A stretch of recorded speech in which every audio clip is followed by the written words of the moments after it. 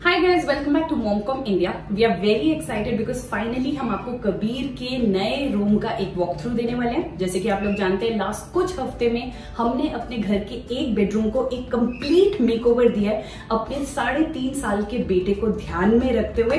तो आइए आज मैं फाइनली आपको ये रूम दिखाती हूँ। इस रूम में जो भी आप देखेंगे, ये सब चीज़ें हमने खुद ली हैं या फिर करी हैं। So it's very interesting it's something that will give you a lot of ideas for your family too तो मेरे लिए इस रूम का सबसे पहला और बड़ा चेंज है वॉल्स तो यहाँ की वॉल्स जैसे कि आप देख सकते हो, बहुत खराब हो गई थी। कोई ऐसा क्रेन नहीं था जो कबीर ने इन वॉल्स पे नहीं किया। जब वो बहुत छोटा था, तब वो ये सब करता था।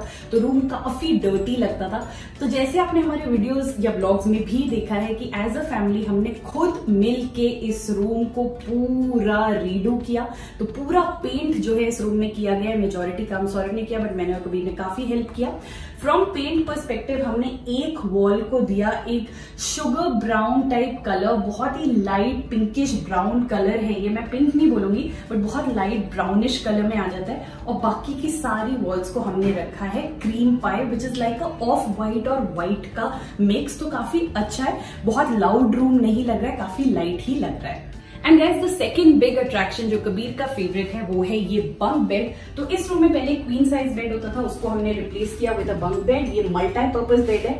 अभी ये बंक बेड की तरह इंस्टॉल हुआ है बट ओवर द इयर्स जब इसका यूज़ बंक बेड में खत्म हो जाएगा तो हम इसे दो इंडिविजुअल बेड में कन्वर्ट कर सकते हैं.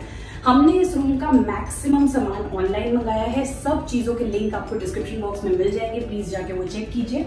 अब बंक बेड जो है, ये बहुत ही स्टर्डी बंक बेड है। इसमें वुड भी बहुत अच्छी क्वालिटी का लगा हुआ है। और इसमें बच्चे आगे खेलते कूदते हैं तो दिस इज़ एब्सोल्युटली स्टडी इसके अलावा बंगबेड में कुछ चीज़ें जाती हैं, वो सारी चीज़ें हमने नई अगेन ऑनलाइन ही ली हैं। तो सबसे पहले दो मैट्रिस लगे हैं, एक ऊपर, एक नीचे। मैट्रेसेस के साथ हमने मैट्रिस प्रोटेक्टर मंगाए हैं।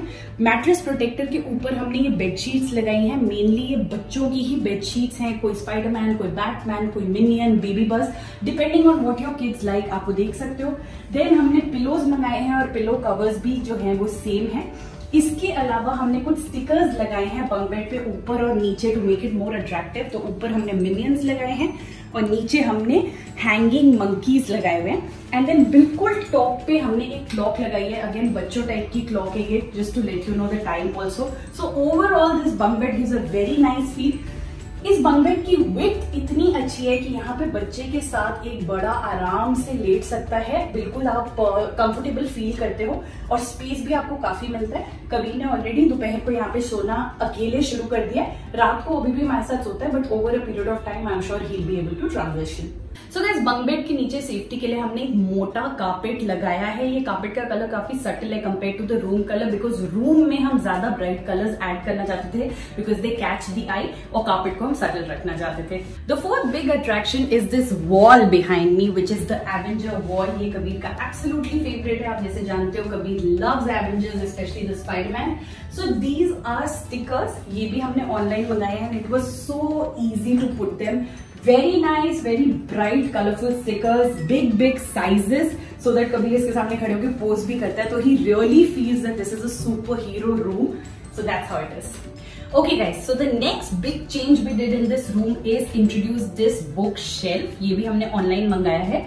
इससे पहले कभी की बुक्स हर जगह पड़ी रहती थी, उसको खुद ही नहीं पता था, उसके पास क्या कलेक्शन है और हमें चूज़ करना पड़ता था कि आज वो कौन सी स्टोरी पढ़ेगा but this is so good ये बिल्कुल परफेक्ट हाइट है कि बच्चे यहाँ पे खुद जाके बुक्स निकाल सकते हैं। सारी बुक्स बच्चों के लिए इजीली विजिबल है, वो इसको आराम से हैंडल कर सकते हैं। And the best part is इसकी डेप्थ ये जो आप सबसे नीचे देख सकते हो, इसकी डेप्थ काफ़ी अच्छी है तो काफ़ी सारी जो बच्चों की स्कूल की बुक्स होती हैं या स्टेशनरी का सामान है, आप इसे आराम से यहाँ डाल सकते हो।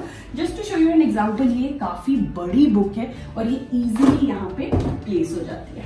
सो so कबीर के लिए हम क्या बुक्स यूज़ करते हैं, ये आपका हमेशा एक क्वेश्चन होता है। इसके ऊपर हम एक डेडिकेटेड वीडियो लाएँगे जहाँ पे I give you walk through of the books that he has what he reads what he does not read so just wait for that video make sure you subscribe to our channel and also hit the bell icon and guys again ये एक Spiderman mat है जो हमने यहाँ पे add किया है। कभी बच्चों का मन होता है यहाँ से बुक निकाला, यहीं पे बैठ गए तो वो भी बच्चे कर लेते हैं। और ये एक छोटा सा स्टूल टाइप ऐड किया ये कपड़े का है। ये भी बहुत अच्छा है। इसके अंदर भी काफ़ी अच्छी स्टोरेज है तो कभी के सारे एनिमल तो छोटे छोटे टॉयज हमने इसमें रखे हुए हैं। सीटिंग के लिए भी बहुत अच्छा है। Now the next interesting thing of this room is the toy organizer so so, जैसे आपको पता होगा कि हम कबीर के लिए एमेजोन के बॉक्सेस को रैपिंग पेपर से रैप करके उसके टॉयज को स्टोर करते थे ये एक डीआईवाई था। तो अगर आपको डीआईवाई वीडियो देखना है वो भी आप मेरे चैनल पे देख सकते हो। हमने ऑलमोस्ट तीन साल वो राशन के बॉक्सेस को कन्वर्ट करके कबीर के टॉयज स्टोर किया है जो काफ़ी डिफ़िकल्ट भी होता था एट टाइम्स बिकॉज़ सारे टॉयज एक ही बॉक्स में पड़े रहते थे तो वो निकलते ही नहीं थे।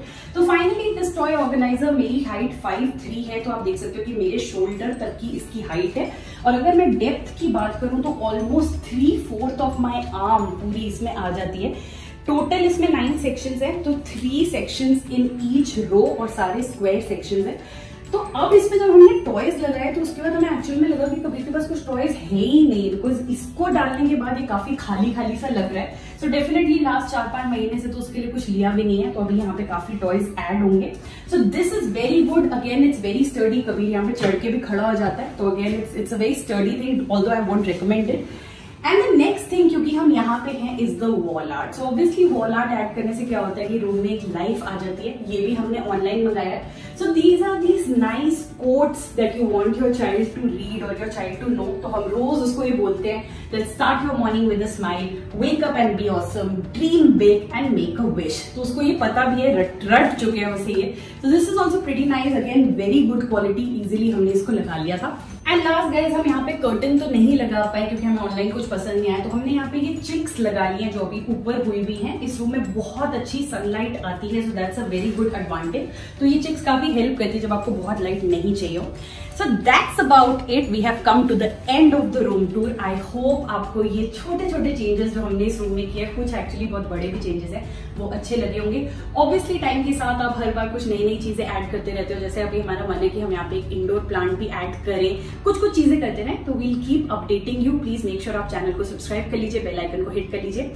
मेन क्वेश्चन जो आप लोगों से आएगा, वो आएगा चीज़ों से रिलेटेड वो मैं ऑलरेडी एंटिसिपेट कर रही हूँ। तो ये सारी चीज़ें आप प्लीज़ एमेजोन पे जाइए। वहाँ पे मोमकॉम इंडिया स्टोर फ्रंट देखिए लिंक आपको डिस्क्रिप्शन बॉक्स में मिलेगा। वहाँ आपको मैक्सिमम चीज़ें जो हम यूज़ करते हैं, जो हमने इस रूम के लिए यूज़ करी है, कबीर के लिए यूज़ करते हैं, अपने घर के लिए नॉर्मली यूज़ करते हैं, वो सारा कुछ मिल जाएगा in your life will become very easy please hit on the like button guys we done a lot of effort in this room and I would definitely suggest that this is a great family engagement that you can do together Kabir loved participating in this activity, he would even come up and give ideas कि किस चीज़ को कहाँ लगाना है, अपने toy box को organise करना and he loves to keep this room clean so बहुत सारे चेंजेस जो बच्चों में देखने को मिलते हैं with the small little things that you do वो हमने कबीर के साथ एक्सपीरियंस किया। So our experience has been ten on ten I hope your experience will be the same thank you for watching mom from India